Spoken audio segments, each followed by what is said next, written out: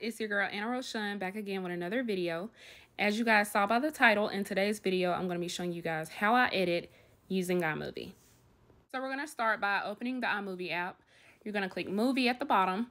And after that, you want to select all the clips that you want to add or all the photos.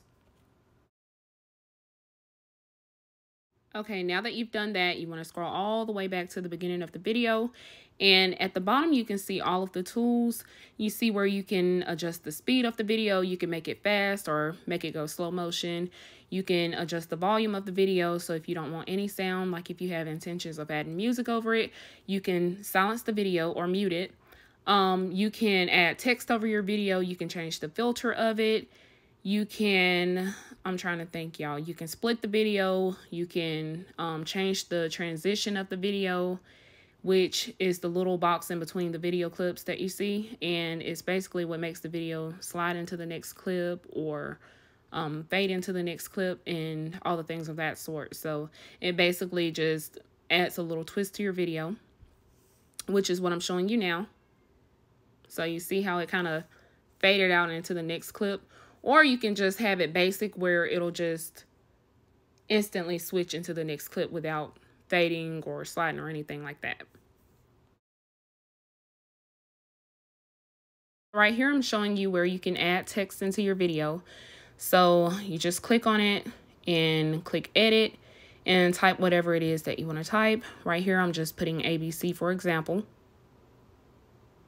And I think you can also adjust the duration of the text appearing on the screen. Okay guys, right here I'm just showing you how you can change the filter of your video. It's not many filter options, but it is a few. I don't really ever use filters on my videos because these are a little bold and I just, you know, like for my content to look as normal, I guess, and regular as possible um, due to me like doing vlogs or makeup videos. But to each its own, it depends on what type of content you're trying to create. Okay, so that plus sign on the left-hand side up there, you click on that to do a voiceover, which is what I'm doing now. And you scroll down to voiceover. And it allows you to start over as many times as you like. Um, and it basically just allows you to talk over your video. Now we're going to add music to the video. So we're going to start by going to YouTube.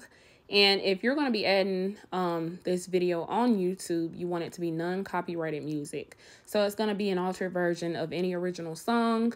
And, you know, that's basically to keep you from getting copyright claims. Once you found the song that you want to record and want to add on your video, you screen record that, okay?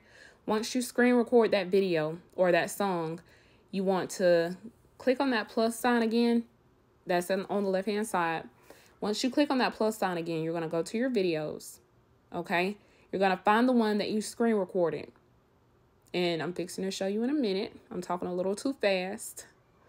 Okay, so I'm going to click on videos. My recently added.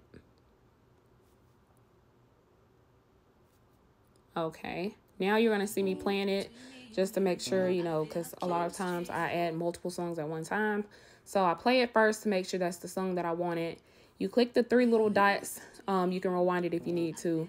The three little dots that was on it and go to audio only. Audio only is going to ensure that it's only the sound and not the image as well with the video.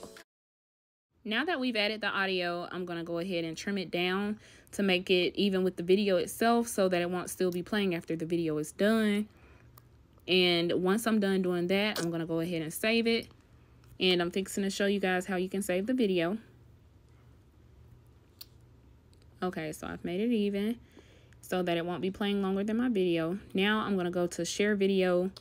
And after I click on that, I'm going to go to save video. Once it's done exporting to your camera roll, you're ready to add it to YouTube or wherever you're trying to add it. Thank y'all so much for watching this video until the end. Don't forget to like, comment, and subscribe, especially if this video was helpful. And until next time, y'all be safe and much love. Bye.